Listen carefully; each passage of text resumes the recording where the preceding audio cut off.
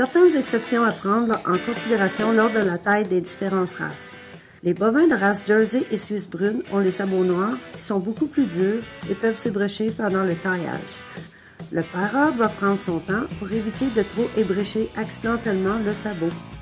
En revanche, la plupart des Holsteins et des Ayrshire ont les sabots blancs qui sont beaucoup plus mous et qui s'écailleront pendant le parage. On doit prendre soin de ne pas trop retirer de tissu plus friable parce que cela risque de rendre la trop mince.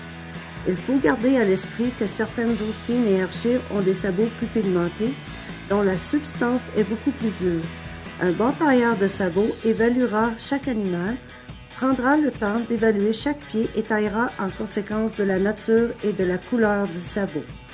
Il est important de prendre votre temps lors de la taille et de vous assurer que la vache est aussi à l'aise que possible. Cet effort supplémentaire est toujours rentable à long terme.